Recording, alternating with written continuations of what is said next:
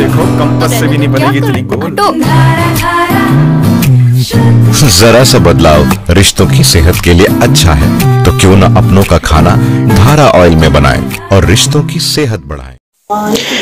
मात्र बीस रुपए दिन की खुराक में करें जोड़ों का दर्द बिल्कुल ठीक। संपर्क करें पातंजलि चिकित्सालय मानस भवन दुकान नंबर 22 अस्पताल चौराहा दमोह।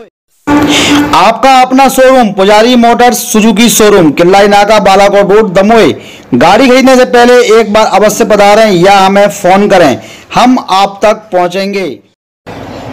वर्ल्ड न्यूज़ चैनल के सभी दर्शकों को विकास अग्रवाल का नमस्कार। दमोह शहर के आसपास की ताज़ा खबरों के लिए हमारे चैनल को सब्सक्राइब करें और बेल आइकॉन ज़रूर दबाएँ, जिससे आपको हर खबर का तुरंत अपडेट मिलता रहे।